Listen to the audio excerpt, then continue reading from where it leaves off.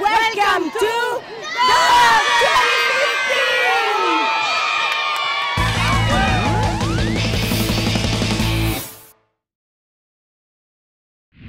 Hi hashtaggers, welcome to your daily digital fix of the IPC Athletics World Championships. This is hashtag Doha 2015. Coming up, we get to know some South African roomies, we find out how you make an impact on your first major event, and uh, this is my mate Dave. Hi, I'm JJ's mate Dave. Join him later where he'll show you a little bit of my preparations for the IPC Athletics World Championships. But first, let's meet South Africa's Anrune Liebenberg and Ilse Hayes. Yes, backed by popular demand, it's the return of Roomies.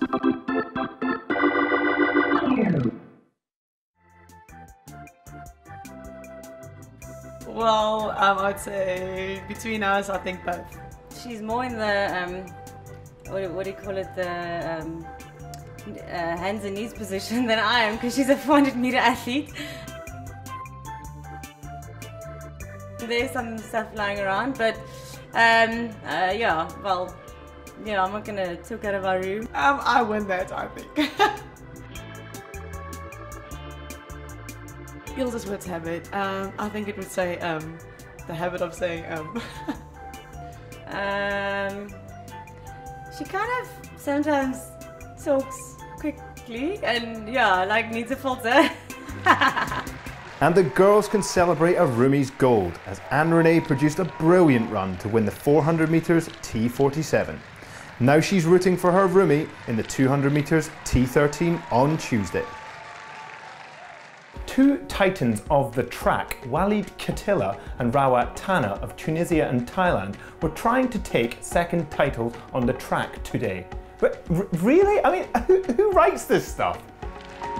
Ktila won the 800 metres T34 to follow up his victory from the 400 metres on Saturday, while Tana beat the likes of Marcel Hug and David Weir to win the 5,000 metres T54. Now you're 15 years old, you're appearing in your first major championship and you're thousands of miles away from home. Scared? Not if you're Ireland's Noelle Lenihan, who simply went out and broke the discus F38 world record. She finished second behind F37 thrower Mi Na of China. I'm absolutely delighted. Like it's, I've got a PB, a world record, and a silver medal. Like you can't ask for better than that. Like I just came in looking for a PB, and I came up with this, and I'm just delighted. Noelle's record was one of five today, which brings our total up to ting, 27. Now we'll take a look at the medals tables. Four more golds for China today takes them to 22, way ahead of Russia, the United States, Britain and Tunisia. In all, 55 nations have won at least one medal in Doha so far. Now we'll take a look at the world of social media. Our first one comes from Instagram and it's a picture of Raul Moya, he was the guide of Chile's Cristian Valenzuela and he was the winner of the 5,000 meter T11. The next one is from Twitter. Now I don't speak Spanish, but it's from at Marta Go Batelli, and it says, I'm told, the first time that the Spanish national anthem has been heard in Doha in honour of Gerard Descarrega, who won the 400 metres T11 yesterday. And finally, we have a tweet from at Wheelie Sport Girl. She said, Team GB captain Paul Blake getting Brit Athletics' seventh gold medal at Doha. That was in the 800 metres T36, and she went on to say, Road to Rio is looking promising. Now, for the last few years, my mate Dave Henson and I have lived parallel lives. We both served in Afghanistan where we were wounded. We went through rehab together, and now he's about to make his international debut for Great Britain. And I'm sitting in a cupboard talking to you about it. But I have no idea what Dave actually does. So I asked him. It's the uh, day before my race. Uh, I just woke up a bit late, which is okay. Um, the blackout blinds are awesome. It's the hotel we're staying at. It's quite impressive. The team.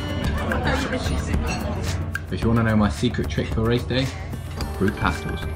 It's the trackside gym, the Al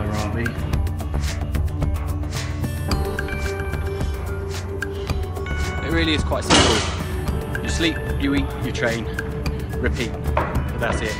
There's a lot of just resting your legs, so I, I spend quite a lot of time just sort of sat reading PhD papers or reading my book uh, with my legs off, just resting my stumps. Hope this has given you a bit more of an insight into what life is like out here. Uh, and I'll catch up with you soon. Dave makes his debut in the heats of the 200 metres T42 on Tuesday. Get him, Dave! Sorry. Anyway, that's all we've got time for. Comment below and hashtag Doha 2015.